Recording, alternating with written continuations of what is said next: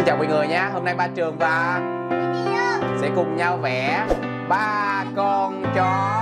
Đúng rồi, hôm nay kênh ba cha con sẽ cùng nhau vẽ ba con chó nhé. Bằng cách là mình ship giấy lại khi mình gặp ra, mở ra thì nó sẽ xuất hiện ba con chó. Thì uh, các bạn thấy hay thì hãy subscribe trên kênh của ba cha con. Và nhớ nhấn quả chuông để theo dõi nhiều video tinh nghịch và vẽ cute của ba cha con nha. Bây giờ chúng ta cùng nhau vẽ thôi.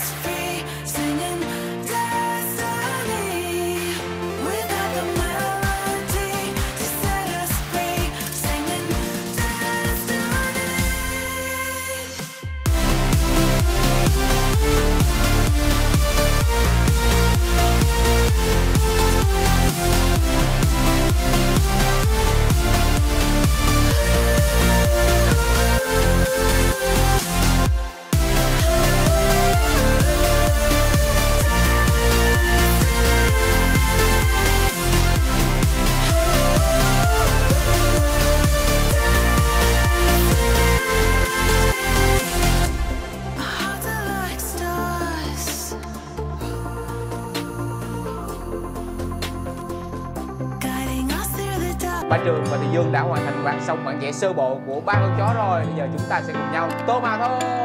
Nhớ bấm mình quả chuông theo dõi nhiều video hơn nữa của kênh ba cha con nha. Ok, let's go nào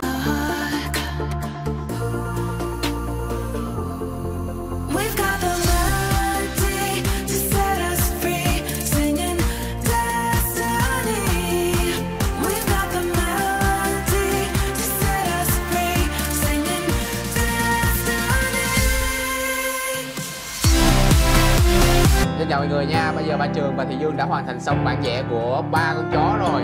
Các bạn thấy chỉ có một con chó đây đúng không? Bây giờ các bạn sẽ coi Thị Dương nha, Xuất hiện hai con chó còn lại nha. Một, hai, ba.